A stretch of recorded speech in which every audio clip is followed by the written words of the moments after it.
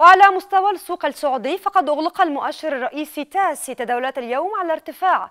نسبة بلغت 0.12 من المئة عند مستوى 11395 نقطة. تداولات بلغت قيمتها الإجمالية 6 مليارات ريال فاصل 246 مليون. جاء سهم شركة جاذان للطاقة والتنمية في صدارة الأسهم الأكثر ارتفاعا بنسبة 6.36 عند 15 ريالا.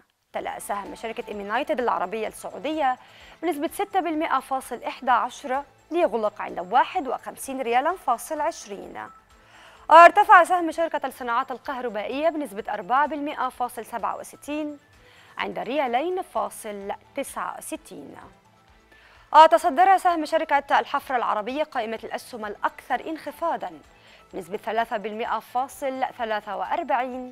عند 191 ريالا فاصل 20